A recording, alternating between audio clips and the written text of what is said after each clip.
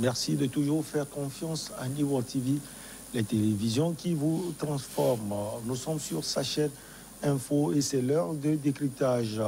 Avec Mamadou Diouf, nous allons parler de l'Algérie et Alger annonce la rupture immédiate de ses relations avec le Maroc. Bonjour Mamadou Diouf, vous allez bien? Bonjour Michel, je vais très bien.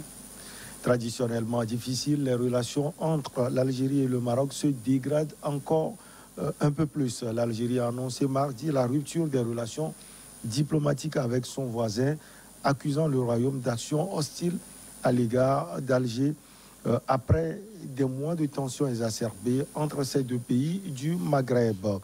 L'Algérie a décidé de rompre ses relations diplomatiques avec le Maroc à partir d'aujourd'hui, a déclaré le ministre algérien des Affaires étrangères, Ramtan Lamara, lors d'une conférence de presse. Euh, Lamtan a reproché à Rabat de n'avoir jamais cessé de mener des actions hostiles à l'encontre de l'Algérie. Tout à fait. C'est difficile de voir deux pays voisins, deux pays maghrébins être dans des relations compliquées pratiquement depuis les indépendances jusqu'à présent à cause de cette question de la République arabe sahraoui démocratique. Sur cette question, il n'y a, a, jamais eu d'entente entre ces deux pays. Et par moments, comme c'est le cas présentement, il y a d'autres points d'achoppement qui interviennent dans ces relations. Ici, on a vu récemment les feux de forêt en Algérie.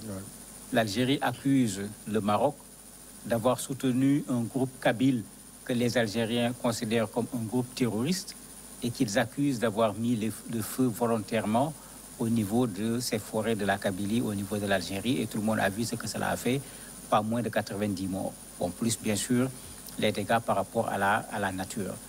Il n'y a pas longtemps, on avait soulevé ici cette équation du Pegasus. L'Algérie accuse le Maroc de l'espionner également à travers ce logiciel euh, israélien. si on reste dans l'affaire d'Israël, l'Algérie n'est pas du tout satisfaite du fait que le Rabat a accepté de renouer ses relations avec Israël. Le pire, c'est que quand le ministre israélien des Affaires euh, étrangères est venu là-bas hier, il s'est posé un problème parce que le ministre israélien des Affaires étrangères, sur le territoire marocain, a déploré le comportement de l'Algérie. Quand l'Algérie mène une campagne pour qu'on ne donne pas à Israël le statut d'un pays observateur au niveau de l'Union africaine, il l'a dénoncé. Ben, en fait, l'Algérie a pris toutes ces choses, mettre ensemble pour dire que, comme le dit le ministre, euh, le Maroc a présentement des attitudes hostiles par rapport à l'Algérie. Mais quand on regarde quand même, est-ce qu'on a atteint un niveau où ça mérite cette rupture euh, de façon directe des relations diplomatiques? Personnellement, je crois que ce n'est pas arrivé à ce niveau. Euh, Mamadou, on a l'impression qu'il y a le problème fondamental, le problème du Sahara, comme vous l'avez dit tout à l'heure. Et après se greffent d'autres problèmes. Et c'est l'Algérie qui joue souvent le jeu. Dans toutes les situations, elle accuse le Maroc. Oui, quand on regarde ce qui se passe, c'est l'Algérie qui a tendance à accuser, mais c'est présentement. Euh, la première rupture diplomatique dans l'histoire entre l'Algérie et le Maroc, c'est le Maroc qui a pris l'initiative de la rupture diplomatique. C'est vrai qu'actuellement, c'est le tour de l'Algérie. Et il faut dire que quand même, depuis que le roi actuel du Maroc est venu, il a tendance dans ses discours à aller vers un apaisement de la, solution, de la euh, relation entre l'Algérie et le Maroc. Lors de son dernier discours, quand il fêtait son arrivée au niveau de la royauté, ben, il, est revenu sur la question en demandant qu'on rouvre les frontières, puisque les frontières sont fermées depuis 1994. Et il a dit que la sécurité de l'Algérie, c'est la sécurité du Maroc. La sécurité du Maroc, c'est la sécurité de l'Algérie. Il a vraiment tendu les mains pour des relations et l'Algérie n'avait pas réagi à ce discours du, roi. Euh, hors des micros, on disait que l'Algérie ne considérait que ce message n'était pas un message sincère. Ben, c'est très compliqué en ce moment qu'il y ait des relations parce que depuis quelque temps, il y a des pics de la part de l'Algérie à l'endroit du, Maroc. Alors, il parle d'actions hostiles. Ce sont les actions que vous aviez citées tout à l'heure? Oui, c'est les actions que j'ai citées tout à l'heure. On peut y ajouter également ce qu'un représentant du Maroc aux Nations Unies avait fait en disant que le Maroc euh, reconnaît l'autodétermination d'un groupe kabyle. Ça également, ça avait créé des difficultés à, l'époque. Ben, quoi qu'on dise, il faut qu'on arrête entre deux pays voisins de maintenir une tension où un des pays peut être la source de la déstabilisation de l'autre pays. Le Maroc est membre de l'Union africaine. L'Algérie est membre de l'Union africaine. Mais dans l'Union africaine, euh, si on arrive à réussir ce que nous voulons, mais le Maroc et l'Algérie vont se trouver dans un même État qui s'appelle l'Afrique. Et il faut que nos États se mettent ça dans l'esprit, qu'on arrête de susciter ce conflit entre les citoyens, alors que nous avons l'objectif de mettre tous ces citoyens-là ensemble dans ce qui pourrait être un État africain unifié. Mais si on continue à faire ces bagarres sur nos frontières, ces bagarres de leadership, parce que sur ce Maghreb, il y a quand même cette bagarre de leadership entre l'Algérie et le, et, Maroc. Mais le jour où on va parler d'Union africaine, comment mettre ces deux pays ensemble dans le même espace? Mais ça va être extrêmement compliqué. Euh, vous, ne pensez pas que l'Union africaine aussi n'arrive pas à jouer son rôle? Parce que vous l'avez dit tout à l'heure, les deux pays sont dans l'Union africaine. Il va falloir qu'à un certain moment, l'Union africaine puisse prendre des décisions pour écouter les deux parties. L'Union africaine a en principe un mécanisme d'anticipation des crises, mais qui malheureusement ne semble pas être très fonctionnel. Et on a vu plusieurs fois des situations venir, la rupture des relations diplomatiques, tout le monde a vu venir, puisque le discours au niveau algérien est monté à chaque fois d'un cran. Malgré le discours d'apaisement du roi du Maroc, le discours algérien est monté à chaque fois d'un cran. La, dernière fois où tout le monde se disait que ça va se gâter, le président Tebboune avait dit qu'ils vont se réunir pour reparler des relations avec euh, le Maroc.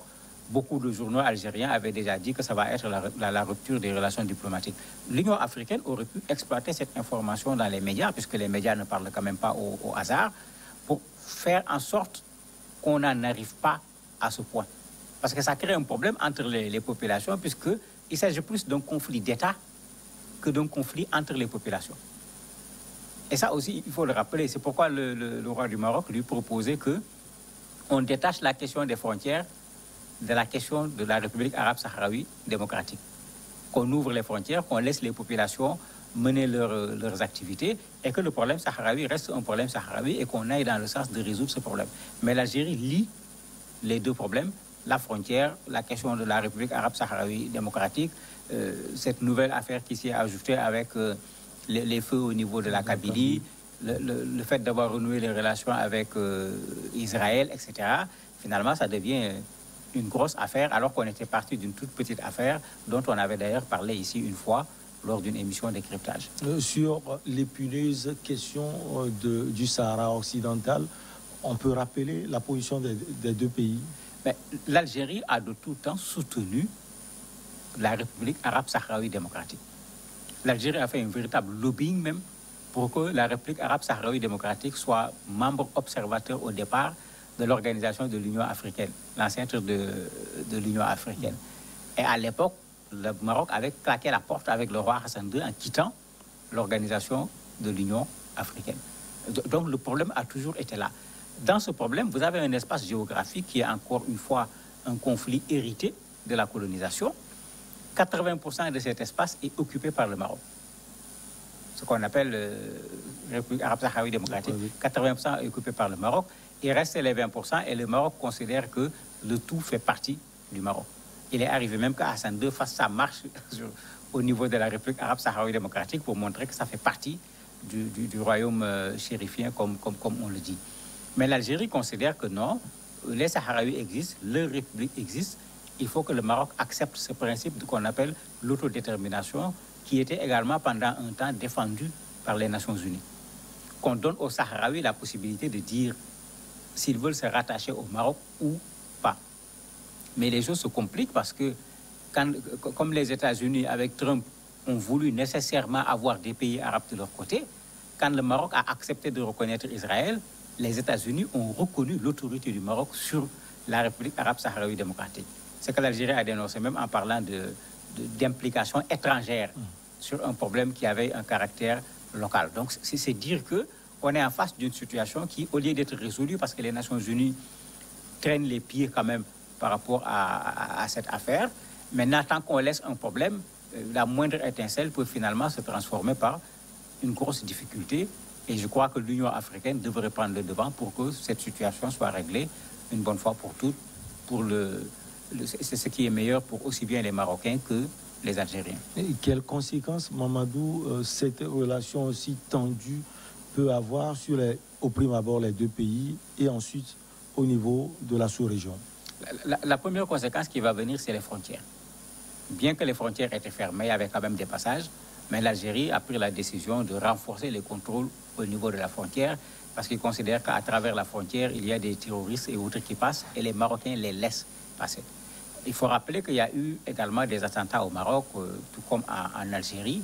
Chacun avait à l'époque accusé l'autre en disant que les terroristes sont venus de, de, de l'autre pays. C'est ce que je disais tout à l'heure. Il faut qu'on fasse attention parce qu'une petite étincelle va pouvoir amener le feu ici à la frontière. D'habitude, quand on dit je renforce le contrôle, c'est les militaires qu'on amène. Si l'autre amène également les militaires de l'autre côté, un petit coup de feu suffit pour qu'il y ait une guerre entre ces deux pays. Et il faut que les pays africains cessent de se faire la guerre. La guerre en Afrique, c'est la guerre de la liberté.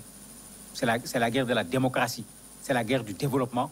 On n'a pas besoin de guerre avec les armes parce que nous n'avons même pas les moyens d'acheter des armes pour faire de la guerre en tirant chez un voisin ou bien à l'intérieur de son pays. Et ça, c'est vrai que ces deux pays sont un peu avancés par rapport à d'autres pays au niveau de l'Afrique au sud du Sahara, mais ils n'ont pas fini de régler les problèmes de leur population. Il ne faudrait pas leur apporter encore une guerre qui va faire qu'augmenter ces problèmes. Il y a espoir de trouver un, un terrain d'entente, même si c'est tendu, comme euh, le ministre des Affaires étrangères algérien l'a dit. Oui, il y, a, il y, a espoir, puisque les Nations Unies, beaucoup de pays ont appelé au calme, à la retenue, à la, discussion pour résoudre ce problème par la voie pacifique, puisque on a créé les Nations Unies, c'était pour ça, c'était pour qu'il n'y ait plus de guerre, bien que malheureusement il y en a eu beaucoup après sa, naissance. Il y a des démarches qui ont commencé et certainement on peut espérer que ces démarches, même si elles ne vont pas aboutir à un retour des relations diplomatiques tout de suite, vont permettre au moins à cette crise qui est en train de monter, de s'arrêter d'abord et puis de redescendre pour qu'on retourne vers des relations plus apaisées entre le Maroc et l'Algérie. Merci Mamadou Diouf. On va marquer une petite pause et on revient, maître, on revient avec Maître Éric Emmanuel Soussa, avocat au barreau du Togo.